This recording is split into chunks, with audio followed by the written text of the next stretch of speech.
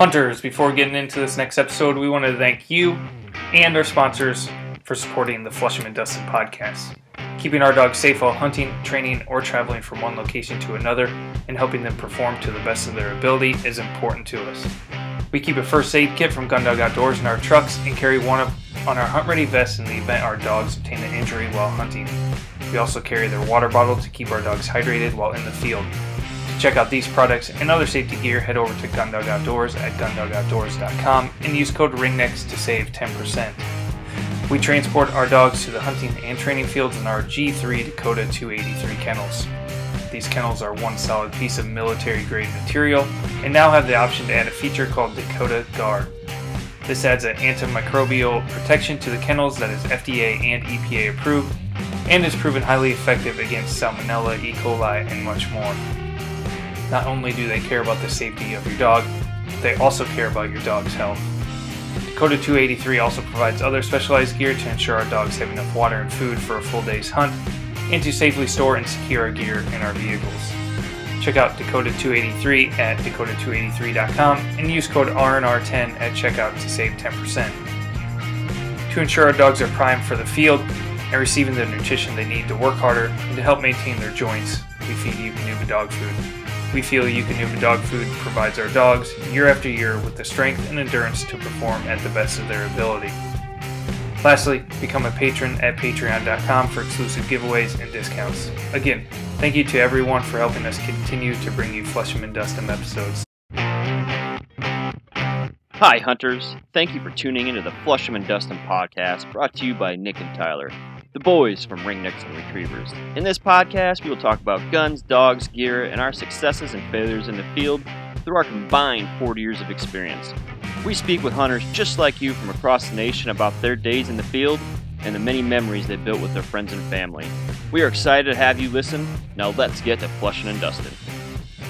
Welcome back, hunters, to another Flush Em N Dust Em podcast. Today we have a special guest, Alex Langbell. He is the founder of Gundog Outdoors and a sponsor of Ringnecks Retrievers Flush Em N Dust Em podcast. So we are excited to have him on. Alex, we're going to kick it off today. Uh, just give us a little bit about yourself um, and how you got started with Gundog Outdoors and how that came about. Yeah, uh, sounds good. Uh, first of all, you can see I'm kind of in my uniform. I just got off work, so I, I my career, my my my professional career is I'm a firefighter, um, training captain. Been doing that for 20, 25 years now. So I'm near the end of my career with that. So I needed a, a hobby. so I, I, actually came up with uh, Gundog Outdoors, and, and it actually came up because uh, I've been in the hunting industry for about 20 years now. And I started out as a hunting guide. I did that for about 10, and then I got into pro staffs. And next thing you know, I started making hunting videos and and uh, ended up um, producing two hunting television shows, The Fowl Life and and the Grind Waterfowl TV. So I kind of been in the business for a while now, and so uh, uh, one day I was just sitting in my blind and I came up with a product that, um, and it just basically keeps dogs from from breaking. It was a, my quick release system and it's been on the market now for three years, but came up with that and uh, it, it basically just uh, I ended up patenting it, and it teaches dogs not to break, keeps them from breaking, and it's just a, a really hit. You know, people were reaching out to me saying thank you. This is something I needed. Um, you, you know, just something that really really good tool. And so next thing you know, that's how Gundog was born. I, again, being a firefighter for 20 something plus years, um, my whole focus has been safety and stuff like that my whole career. And now I, I operate, you know, being a hunting guide for so long, it's everything is about safety. And, and so this was just natural. I, I really realized that there's no there's no companies really focused on the safety of hunting dogs. I mean, we're all focused on our own safety, um, go through hunter education for the kids and, and talk about ear protection and eye protection and, and, and good, nice, warm clothes when you're out hunting and stuff like that. But no, who's looking out for the, the dogs? And so that's what this kind of, my, my company is kind of um, born from is just, um, it's really focused on um, creating products that are um, designed to keep dogs safe and um, and keep them comfortable. You know, I, I came out with a, a, field trauma kit again. 20, 25 years uh, firefighter. We've, uh, we've had to use that a few times. Tyler and I both. Yeah. yeah, and it's it's you know I hate to say that uh, seeing people use it, but at least it's it's I mean it's good. It's it's there. That's what it's for. And so um, I just came up with the kit, and, it, and you can use it on humans because it's all the same stuff that I've used in the field as a EMT. And and honestly, it's like, well, well, you're not a vet. Well, you don't need to be a vet when you're treating a wound, and that's the whole thing. Is you have just to understand um, how wound care and what to do and controlling bleeding and stopping the bleeding and getting it to a vet that can go that take it to that next step. So that's kind of where my you know because I've hunting had hunting dogs since I was 12. You know over over close to 40 years now. Like I ages myself, but you know have hunting dogs for that long, hunted for that long. I've seen all sorts of injuries. So just you know coming out with products. I came out with a water bottle that um, keeps dogs specifically designed for hunting dogs or or working dogs for that matter. So anyway, that's kind of where I got the start of Gun Dog. You know, just just really it's a born out of uh, a need, and so I've just taken the next level, and, and people love it. They love the like I have top notch customer service. I really care about you know the dogs, and and so people see that, and it's just been a really a really good um, adventure that we're kind of taking off right now. In fact, I'm I'm retiring a little bit early, and I'm going to focus 100% on the company, and uh, I'm excited for got all sorts of stuff in in the work, so be fun. So you're the the first aid kit. That seems. How long has that been out? Uh, the first aid kit I put it together last year, so it I would say it's been out about about 13 months. Yeah, and I know like, so we saw it come out, and I was like, you know, that's a huge thing, especially in the uplands, um, just because the dogs go through so much different types of cover throughout the day. Mm-hmm. You know, they you get into a swampy area. Um, you know, you got sticks coming up. You go through briars. You got uh, barbed wire fences, and that was seeing that come out was was awesome for us because when you look at a lot of like the upland hunting chat groups on Facebook or uh, forums, you know, everybody's like, "Hey, what do you got for uh, first aid kit? What should we put in a mm-hmm. first aid kit?" And yeah. you know, everybody has what they want, but yours is, I mean, it's like all encompassing when you caters to everybody. Yeah, it really does. Yeah. And it, yeah. I know you've enhanced it um, through through this year. I think you've added a couple things to it. Mm-hmm. Am I mm-hmm. correct? Um, yeah, yeah. I don't I know what I've, they were. Yeah, no, I've, I've done. I mean, you know, and that's the idea is you, you improve what you start out with, and this is all the, the the basis of the aid kit was exactly what you would need to treat a wound. Like I said, I, I've been an EMT firefighter for for 25 years. I've treated gunshot wounds, knife wounds, impalements, um, decap. You know, I've seen it all. And I've seen decapitations. You're gonna say? Yeah, I have. Unfortunately, you know, I have. I've seen. I've seen some stuff, guys. And so I've seen it in the field with dogs too. I've seen a dog go in hypothermia. I've seen a dog go in seizures. I've seen a dog take a stick to the chest twice. I've seen I've seen ears get ripped open. So I've, I've tre- and I've treated them. You know, so I put together basically a kit that was just no nonsense. I know what it takes to do it. Um, and I but I didn't want to. There's some kits out there so encompassing that you can't carry them out in the field. They're so big, you know, $200 later and you got basically a, a big, you just, it's too much. So this is yep. something you can put on your belt. You can throw it in your vest. You can throw it, you know, in your, your blind bag if you waterfowl hunter, throw it in your truck. Um, and it's just, everything is, is there. And it's, um, and we put, I just added um, a, a skin stapler. There's a lot of demand for that. You got some guys like the, the pig hunters, you know, the, with the dogs um, that fight they get always getting gored and stuff like that. I um, so I, I, added that to the kit, and so it's it's just a good all around kit, and I, and it's doing so well because it, it's not just thrown together by someone who doesn't know what they're doing. It's uh, again, it's stuff that I've used in the field and I know it, and it's all U.S. made. All parents, all paramedics and EMTs throughout the throughout the U.S. use this product. So you know, I, I would say that uh, you know me personally, I was thinking the same way you just said. You know, I always took care of myself in the field, but I never ever took a first aid kit. I was just figured out, well, if you got hurt, and you know I'd just go home or whatever. Well, yeah. you know, in South Dakota when we were out there this past year, Diesel actually ripped his whole toe- toenail off and ended up never got a video of it. Of course, I wish I would have. Uh, you weren't. I wasn't thinking of it, but uh, I used it right then and there um, yeah. in South Dakota. So it's it, it is uh, you know, going back and thinking of the hunting and everything your dog's running through, cattails and all that type of right? shit. Yeah. Um, yeah, no, I won't leave home without it now. Actually, I just took it out of my truck um, this past weekend. I had it in there the whole time up until now. Yeah. Yeah. Yeah, and it's cool because I, I got a uh, uh, a um, little guide, field guide in there, and it kind of goes over the signs and symptoms that you might get.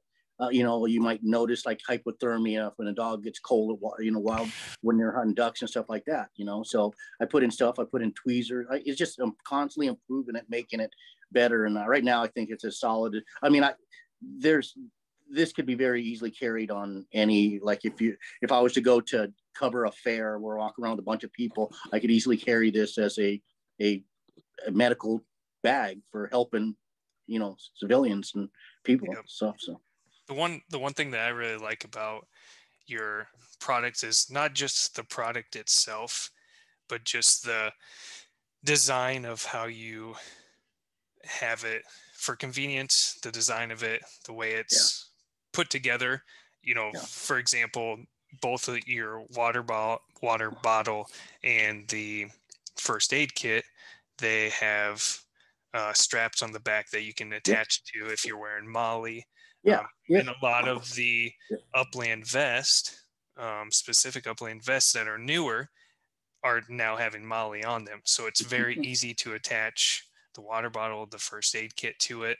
yeah, You know, like you said, when you have the, um, you know, if you're in a duck blind, if you're have it in your truck somewhere, you know, you can button it to whatever you need it to, so it's easy to access yeah, you know Yeah. that's a feature that i think is is really nice you know and especially for the uplands because it's really hard to carry stuff unless it goes well with your yeah, with the vest Yeah. that you're wearing you know Yeah, yeah. Uh, so I, I like that You know, and I would bring up your your water bottle too, Alex. You know, this was the first year.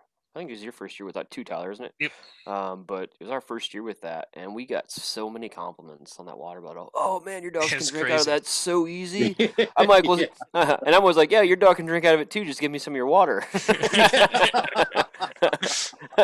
yeah yeah, i know it's it, it's so convenient man and that it's like you know we used to carry around a a aquafina bottle or you know a big gatorade squirt bottle or something and Mhm. You dump half it out half, of it on, the ground, you yeah. know and this is nice you can put the water into the cup and then you tip it back you know if the dog doesn't want any more it drains back in Yep. um, you know Yeah. very well Genius. out Genius. No, thank you, thank you, and and then we're uh, and I love it, and people love it, absolutely love it, and so Do you do you drink Um, out of I- it yourself then? yeah.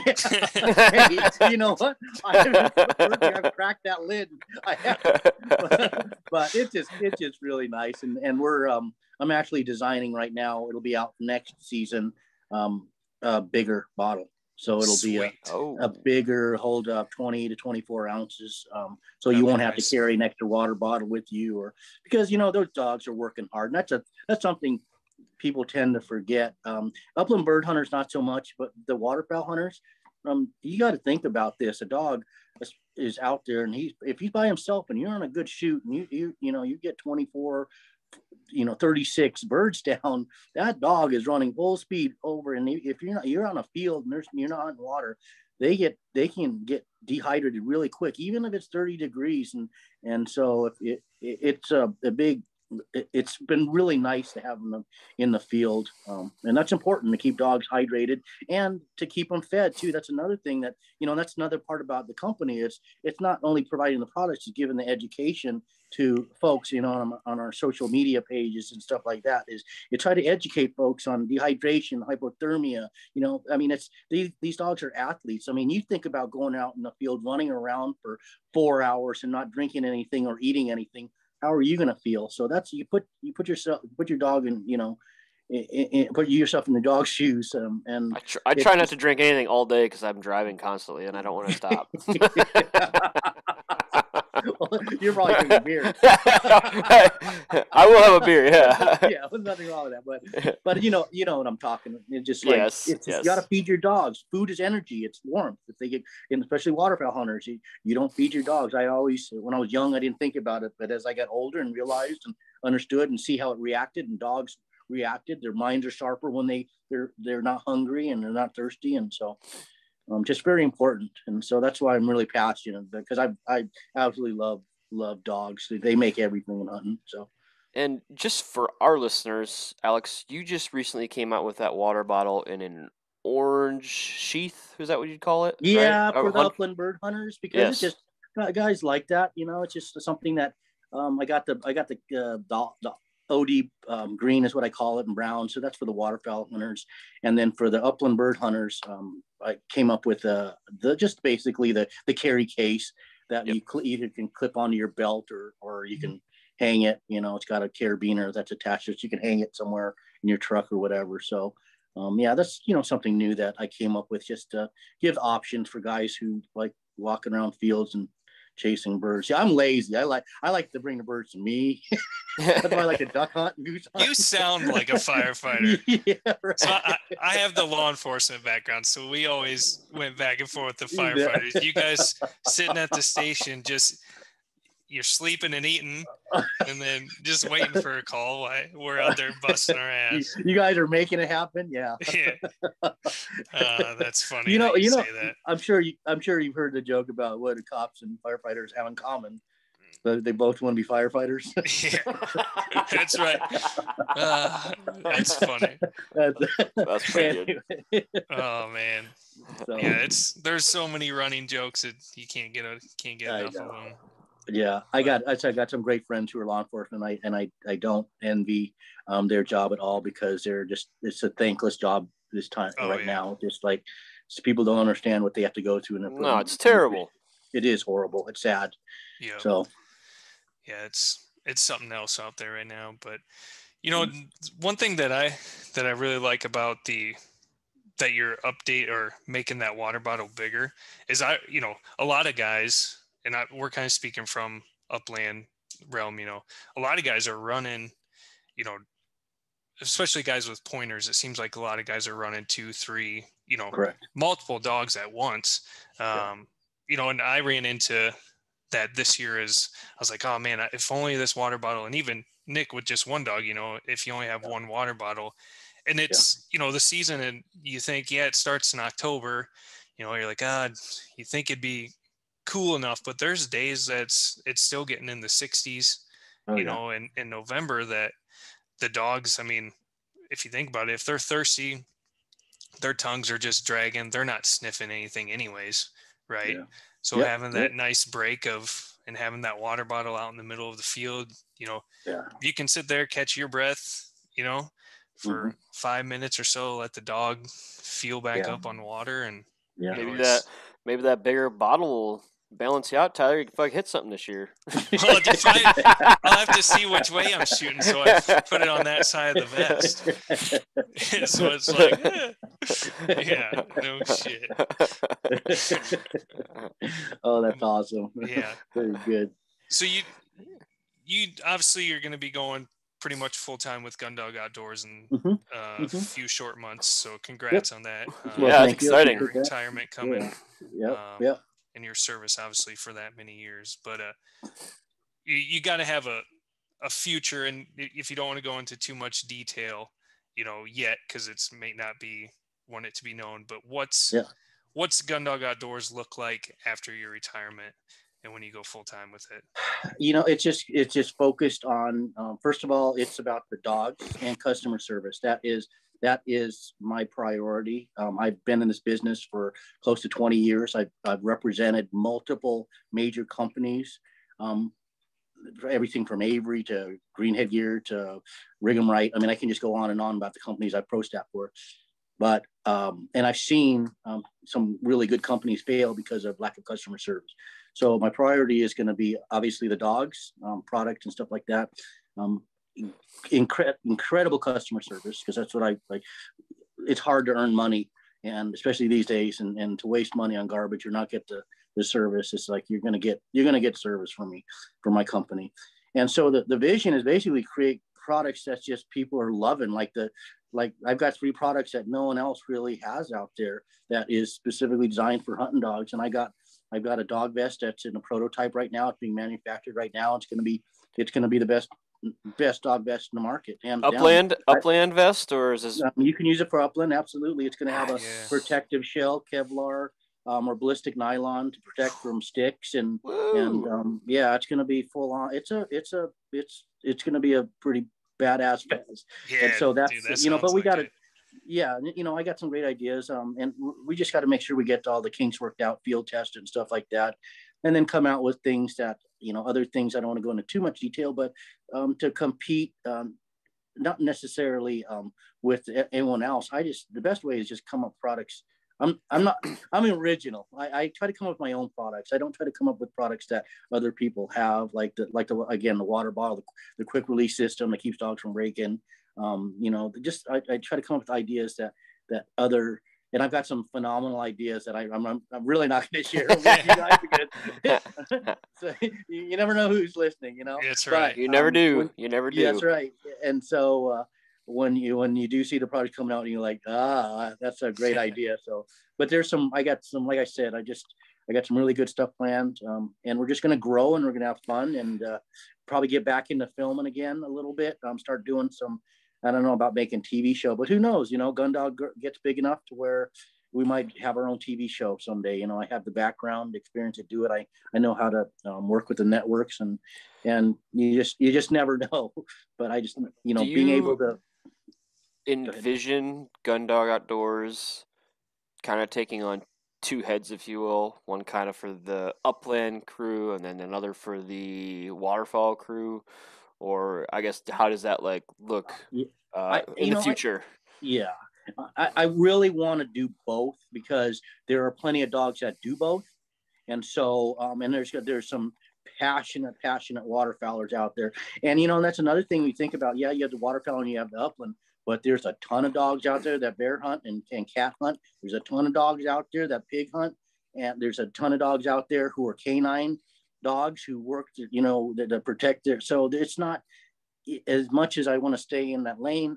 Don't expect like I've just put together a, a kit for a canine officer, and it's it's a that. tactical kit. Yeah, so it's you know black, and it's got a gonna have a couple other things, but you know don't look at don't think Gundog won't go into that realm as well because these are law enforcement who are they're laying their lives on the line, and the dogs are, and so the handlers are as well, yes, obviously. yes. And so by doing that, and I, I sent a care package, and this is a really great story. A, a, a gal reached out to me, and actually, um, pretty pretty well known gal. Um, her name's Laura uh, Zerra, and she was on uh, Naked and Afraid. She was like a badass little. she just killed it, right? And so anyway, we became friends on social media, and her her friends. Um, boyfriend is uh the special forces overseas and he's a dog handler and stuff like that. And so anyway i put a, a, a really good care package together for the dogs and the dog handlers and stuff and, and sent it over there. And and they actually used it. Um the, i just got an email the other day and i had to leave a lot of details out but the dog was um, overseas. Um, they were running with the handler and a pack of wild dogs attacked both of them. And the dog this uh malinois fought off seven dogs protected the handler. The handler had to carry it back right? Yeah, the dog was all messed up, but it turns out they flew it out, got rabies shot, gave it IVs, took care of it, and uh, everything worked out well. And the dog's going to go back into service and finish the deployment with them. But that's just the stuff that you know. If, if you got, yeah, right. So if you have that, I mean, I just want to limit to just waterfowl and upland bird. I want to, I want to go kind of the big picture. as It's well. all working dogs. all working dogs, exactly. Because dogs to me are so special. They're so underrated for things that they're they do. They've been with us for you know thousands of years. as Nowadays, side- they're they're better than people. So right, exactly. I hmm. like dogs. I, I like some people. so yeah. So no, I, I you know, and I, I again, it's growth, and of course, our, my mainstay is going to be waterfowl and, and upland bird because that's it.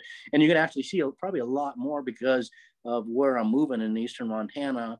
I will be doing a lot more of the upland bird hunting. Um, you know, the uh, the grouse and sharptails and the and the, the pheasants and the and the huns and all that fun stuff. So yeah, you're going to start seeing that, and then a lot of it is just me being spoiled and going, hey, I want that. Let's design that. and so you know, and, and of course, anything that I listen to when you, you guys have ideas or or you know. Uh, other people I know come up with ideas. I'm all I'm all I just ears. I just had an idea. We'll uh we'll come up to Montana and hunt with you. Perfect. I expect it.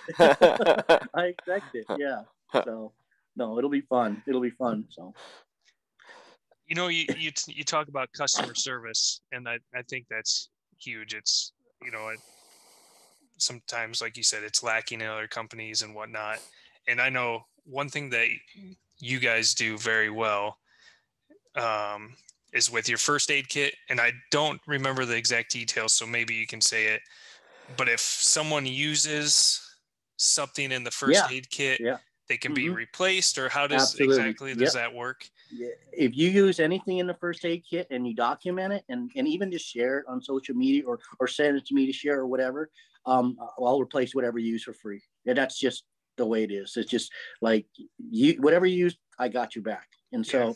You know, That's of course I want a little bit of promotion so we can help spread the word of having, cause it's so important to have a first aid kit. Like it just really is. People don't Yeah. even think about that stuff, but now I don't leave anywhere. There's always one in my truck. I go, I went on an elk hunt this last year. I packed my, I grabbed one of the, the first aid kits, you know, took Yeah. out, and I just threw it in the bag and, and we had it and we actually used it. it was crazy. One of the guys hurt, ended up hurting himself and we used the first aid kit. So it just, it's just a, it's it feels good to be able to have product that, that where you get emails on a regular basis thanking you for your ideas and what you come up with. It's just like, you know, I've, I've been in the fire service for a long time and I, I get thanks all the time for the things that I've, I've done and or do. And, and to he, continue this with the, the products, my ideas is, it's really gratifying to me. So I just love it. So a lot of passion you can see. Oh yeah. Yeah. So Passion drives success, right? Abs- absolutely, absolutely. So if I can, if I can hunt now and just, uh, have a good time and hunt for the rest of my, my, my life and, you know, make a little, pay for a little bit of whatever. Think of all the- think of all the ideas you'll come up with now that you're going to have all that free time man Alex, what uh, what are you? You said you had dogs, right? What are you Mm-hmm. What are you running? I have, I, you know, I don't, I try not to have a whole flock of dogs or herd of dogs. Um, I, I you know, th- I just don't. I, I normally have one dog and it's, I focused everything on. Right now, I have a lab. I've had um, labs and chessies. I've had springers. Um, so I've had all three of those. Uh, I, I think they're all great dogs. They all have their, they all, and I think any dog that works is a great dog. Um, but uh, yeah, right now I'm running a, a little lab. She's uh, four years old. She's the face of my company. Um, I just wrote an article for Wildfowl magazine and she's all over it. So um, it's pretty cool. Pretty good stuff. do you think uh moving out to montana you'll stick with the labs or what is what's your thoughts You know, I, I thought about that. Um, I thought about Chessies. I thought about possibly getting an upland um, dog, um, something like that. You know, I've, I, I know friends have had um, German short hairs, um, pretty high strung for me. um, they are high Um, strung. Yeah, they are. And uh, but they're great dogs for what you know. If you're an upland bird hunter, you need a dog that runs for four hours straight. yeah and so um, you know, I I get that. So I don't know. We'll see. We kind of play it by ear. Um, and I do I do do a lot of um, I will do a lot more traveling. I'm doing show trade shows and um, stuff like that once I retire. And so, you know, I, I can't have a farm. I can't have a bunch of horses and chickens and stuff like that. I gotta worry about you know the myself and my dog. I can throw my a dog in a truck and you know, and all of a sudden you have two dogs that that's a little bit harder. Or three dogs a little bit harder. So that's kind of why I'm a, I've always been kind of a a, a one dog guy. Not that, and, but I'm not a breeder. I'm not a, a trainer. Although I've trained my dog since I was 12, so I, I know what I'm doing. But I just never gone that aspect of it. I've always been, like I said, the hunting guide. Did that for almost a decade, and then and then got into um, filmmaking and TV making. So that's kind of been my my lane. how long how long were you in the filmmaking business Oh shoot. Um, well, I did 4 Let's just make sure this is correct. the filmmaking business of hunting videos. Hunting, yeah. so the hunting films. okay, um, I actually, Sorry. I actually okay. My first uh, video that I made is called "Rest When You're Dead," and it was uh, Fred Zink actually um, helped uh, uh, distribute it and uh, re- reproduce it and market it. And then, but it was uh, back in 2005. I made that, and then uh, I made four videos after that. I was approached to do a TV show The Fowl Life. I did that for three seasons. Uh, after that, I um, left that show, and then I got approached by another by Rig'Em Right and Dakota Decoys. They asked me to do the grind waterfowl TV, so I, I did that for three years. And if you ever want to like stop hunting and not enjoy hunting, start a TV show. Yeah.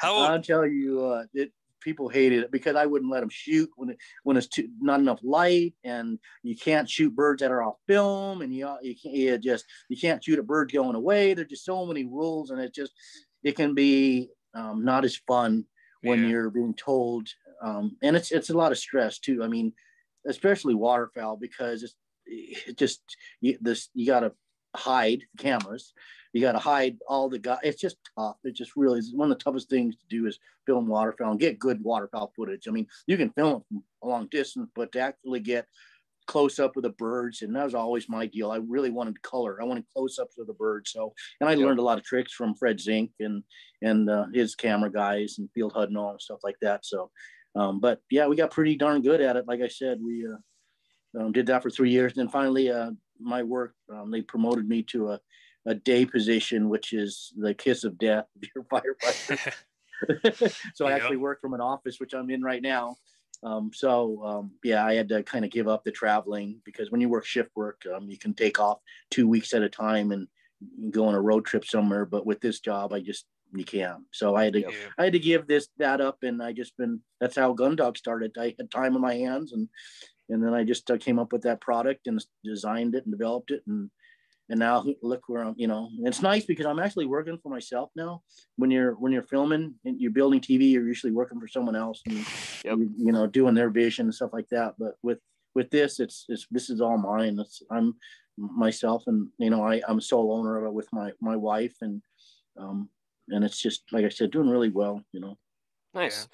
Does she have any good ideas for you?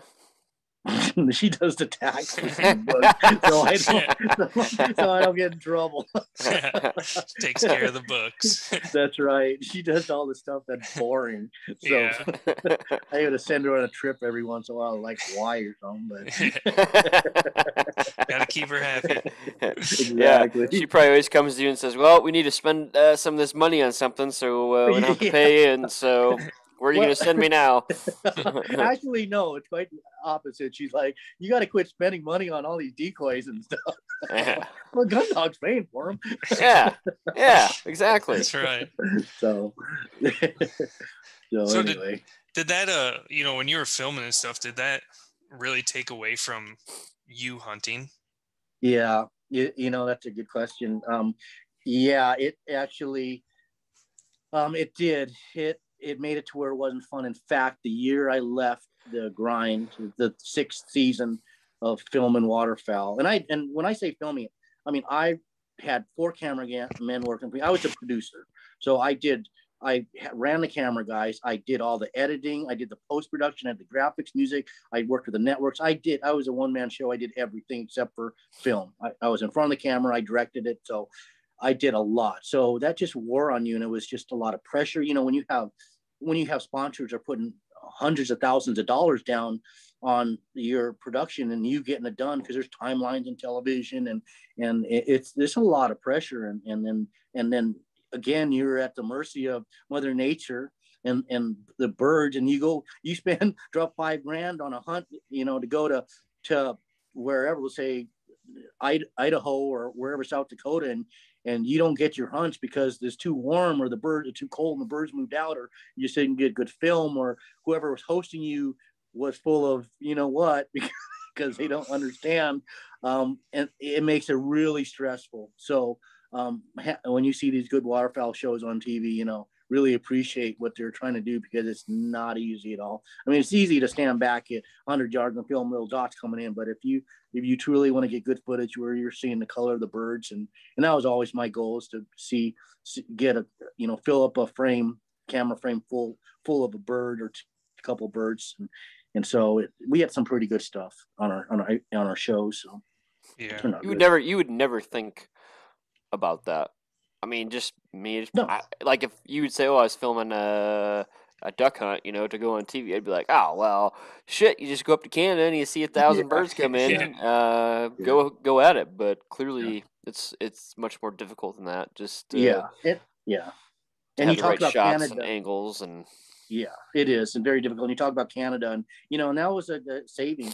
Like you, we'd go up there like the beginning of the season, and I get, I get, you know, three good episodes there because you have the ability, because you have so many options. You know, you can shoot 18 birds up there. You you can stack, you can stack them up, so you can get episodes even if you had a bad day, which was rare. It's early in the season, so the birds aren't as skit, skittish. But but no one wants to watch a whole, a, you know, entire TV show of just Canada hunting. They want to see small water, you know, you know, over, you know, in creeks and stuff like that. They want to see timber hunting. They want to see all the different stuff. And so Yep. that's what we kind of, um, we had to do. So I'd been, we'd go start in Canada, usually get a couple episodes up there, but then we just start planning a trip. And, and that's the hard thing is like, you want to hit these places when they're in the prime, but you can't, you can't be at, because the prime for almost every place in the country is December. I don't know why. It's just like when's the best time to hunt? It's just like it seems like it's in December. When to come hunt in December. But and I know this granted, you know, you go all over and January is good and November can be good, but but it's just hard to plan that and and make sure you're getting all the good hunts because uh like I said, you're in you're in control of Mother Nature. I mean, she, whatever she throws at you, that's what you have to deal with. So, you know, we we managed to always get good footage and always get our stuff, Yeah. but that wasn't from lack of of trying. We we busted our ass sometimes, you know, trying to get all this stuff. So Yeah. Yeah. I mean, we we kind of got into just doing a little bit, nothing on that level, not even close to that, you know, but just running like GoPros and Yeah. I mean, even that's just like there was times where I'm like, this is dumb. Why are we trying to film this? You're more worried about trying to have your GoPro on than you know Yeah, just being I'm- out there and enjoying it. I'm a complete Yeah. ship shit bag when it comes to turning my fucking GoPro on. yeah. You know, Yeah. I think I Forget it to be- every I'm time. horrible about it. I'm horrible. You know, as much having- experience as I have. Yeah, having a nice camera, you know, and taking good pictures is is one thing, but man, when you talk about trying to get video, it's like stuff just happens, you know, and it's Yeah. like I- I wasn't ready for that, you know. Yeah. It's but it's something else. Yeah. Cool. So, Good Hell, deal. sometimes I forget to even load my gun when I'm going out to the field, much less uh, turn That happens fucking a lot in the on. water in the blind. you know, it's a Uh. good hunt if you're forgetting to load your gun. yeah, it means you're getting some good or shooting. bad hunt. yeah, or you're so bored. Uh, that's awesome. Yeah, yeah, good deal. So, But Alex, why don't you give us a couple of your favorite hunting stories? Anything you want. I don't care if it's big game, if it's duck, goose, pheasant, whatever. You just you give us a couple of your best stories. oh man, oh, man. there's so many. No holds bar either. I don't care what it is.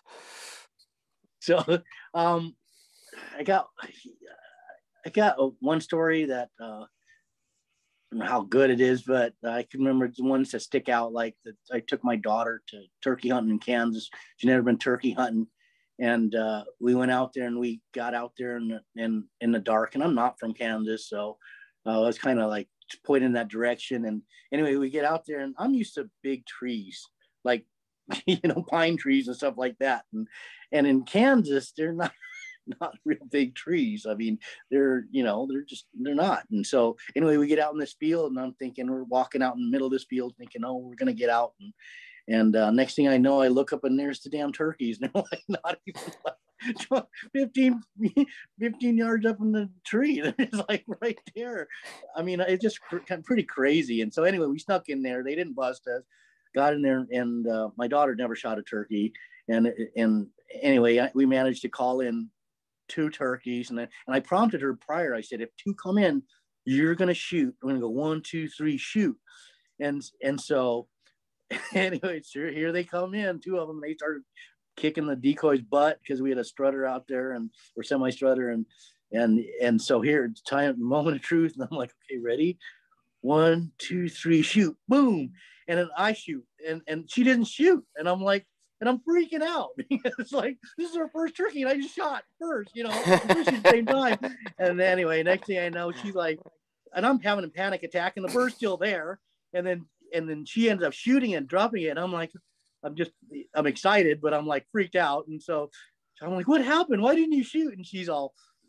Um, your bird jumped and it scared me, and I didn't couldn't shoot.